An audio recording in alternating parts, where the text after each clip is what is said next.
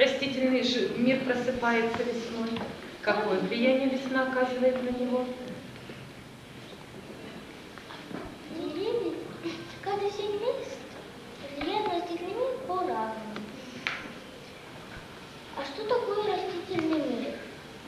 К растительному миру относятся деревья, кустарники, трава и цветы. Травянистые растения, да? Болтавшие почвы. Поставили банку с водой и поставили на подоконник. Наблюдая за вербой, я поняла, что для того, чтобы растение пробудилось после холодного времени года зима, нужны тепло, влага и свет солнца. А если ничего этого не будет, то растение просто погибнет. Еще весна влияет на цветы и траву. И об этом написала Михайлова. Цветы в мае.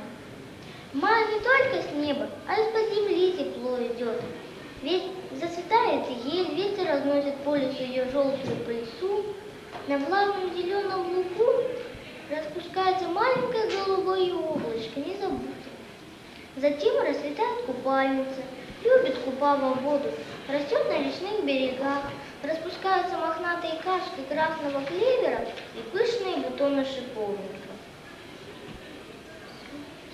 Значит, ты своим исследованием, да, провела, исследовала художественную литературу, необходимы растениям для того, чтобы они пробудились ото сна. Очень хорошо, Дашенька, спасибо. Тебе интересно было? Интересно. Я бы очень хотела показать, вот, ребятки, посмотрите, у нас тут появились первые модельеры, да? Пожалуйста, Вань, выходи, выходи. Сашенька, Сашенька, выходи, выходи. Их работы вылились в создание журнала МОД, модельер Ваня Шейн. Ваня создал коллекцию выпускных платьев для девочек своей группы. Вот, пожалуйста, журнал МОД Вани, да. Будущий модельер наш. Он создал коллекцию, эскизы сделал весенних тканей. Везде рекомендуют нам такие ткани, да.